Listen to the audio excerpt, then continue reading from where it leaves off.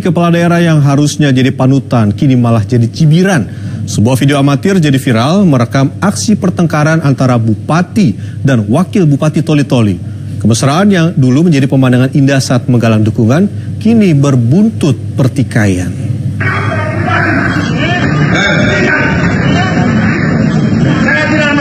Video yang menjadi viral di media sosial ini adalah potret drama politik kepala daerah. Pertengkaran antara Bupati dan Wakil Bupati Toli-Toli Sulawesi Tengah, Muhammad Saleh Bantilan, dan Abdurrahman Budegini ini terjadi di hadapan publik. Saat pelantikan dan pengambilan sumpah jabatan, pimpinan tinggi Pratama Fungsional, pengawas dan kepala sekolah di lingkungan pemerintah Kabupaten Toli-Toli.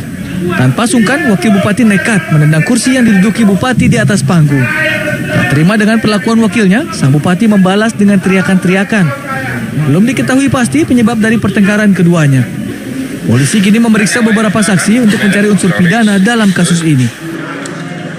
Terhadap uh, dugaan kasus penganiayaan dan pengerusakan yang uh, videonya viral ya di Toli-Toli Sulawesi Tengah, uh, Bupati sudah melapor ke Polres setempat.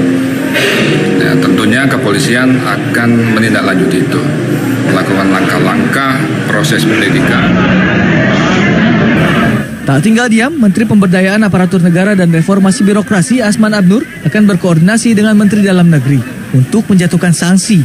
Keduanya bisa terancam sanksi penurunan pangkat dan jabatan.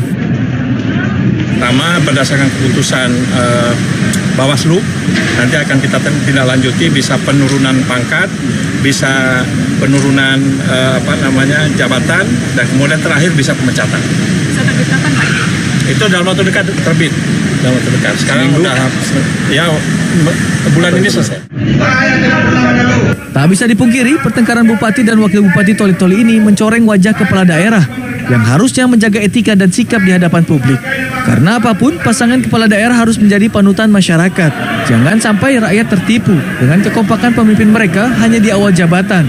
Namun belakangan, perlahan berubah menjadi perpecahan. Tim Liputan Transmedia.